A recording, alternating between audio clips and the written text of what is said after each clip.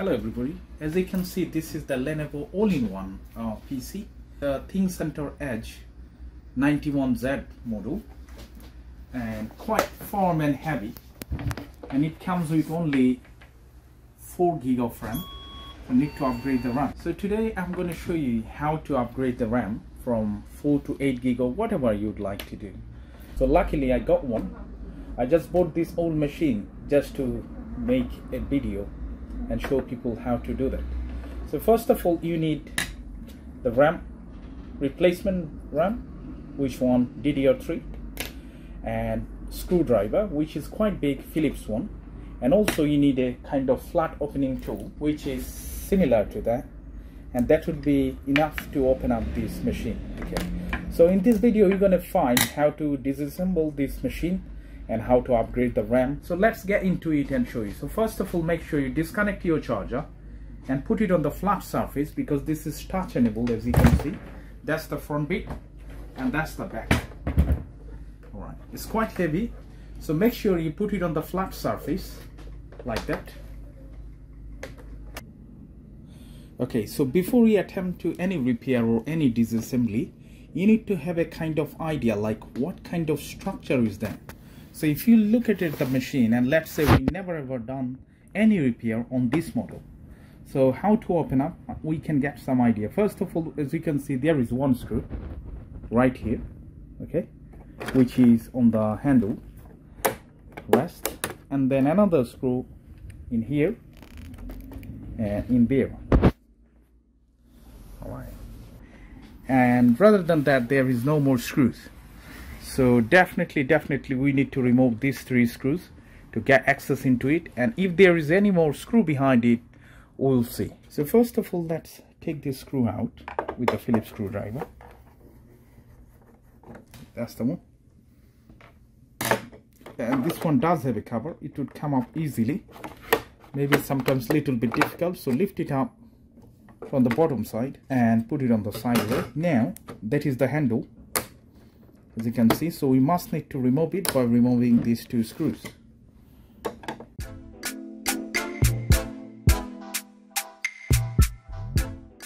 So you can lift this up easily. Now these two screws.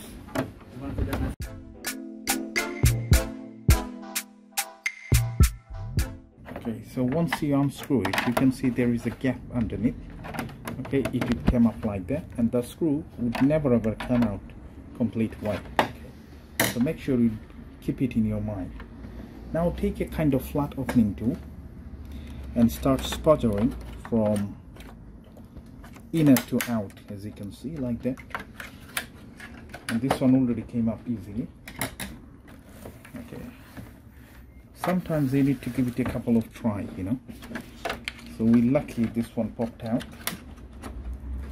Okay, so this side almost came off now actual problem is in right here okay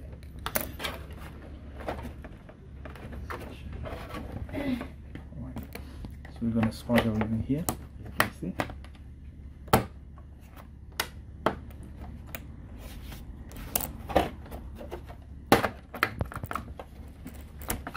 yeah. now this side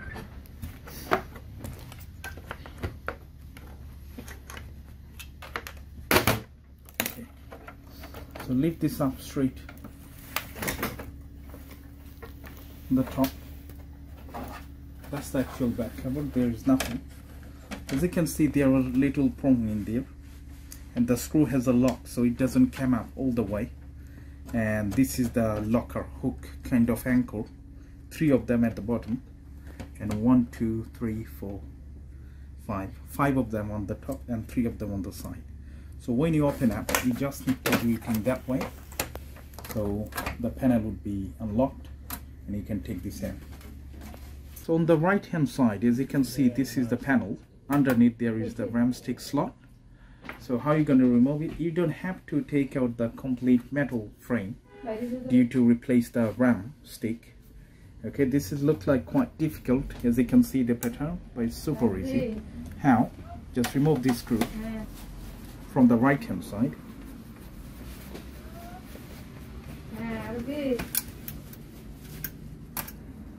right. And then we can slide out as you can see. So you can slide out complete way. And as you can see now the motherboard is right here. So in this machine there are two RAM slots it comes with 4 gig if you have another one then you can put it right here. So example I do have 8 gig one. So I'm gonna put it right here that way. And just push it down. So now this one does have 12 all right. So many people they left a, comment uh, previously like if it does support any M.2 or NVMe uh, SSD yes it does. As you can see there is one slot right here. Okay. That's the one. And also if you do have any question to upgrade the processor I would say yes you can upgrade the processor. This one does have an option. The latch is similar to desktop PC which is one of the great option to do that. And the really impressive things in here the actual cooling fan with the heatsink. The cooling fan is super big. I never seen in HP all-in-one PC similar to that. Nor even in uh, Lenovo IdeaCentre. So this is one of the great one to keep it cool. Okay. And pretty much that's all. All right so after you upgrade the ram stick what you need to do you just need to put it back. So how are you going to do that? Don't be confused. As you can see there is a little edge and comes quite you know less wider than that part. So it seems like this part would go here but it's not. Okay? It goes under that this side. So put it under there.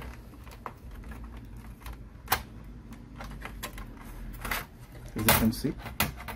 And then slide in. One more screw should be right here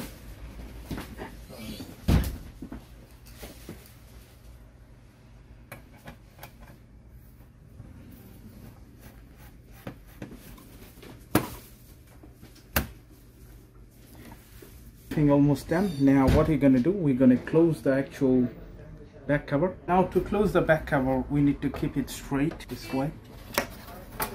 And then try to put the front bit first because this is quite difficult. Rest part is okay.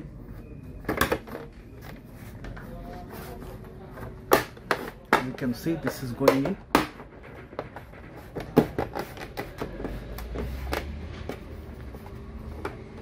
now don't push it down until you put the screw back on the two screws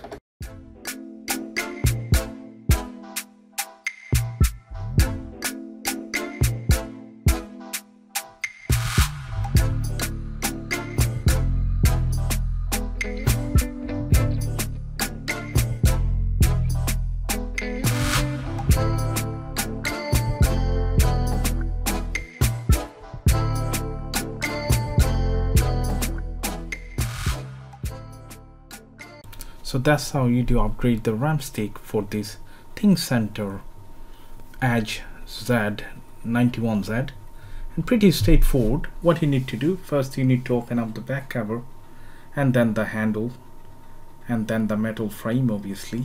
And just take out the screw. Quite straightforward. Still if you need any help then please let me know in the comment section. I'll try my best to make another video.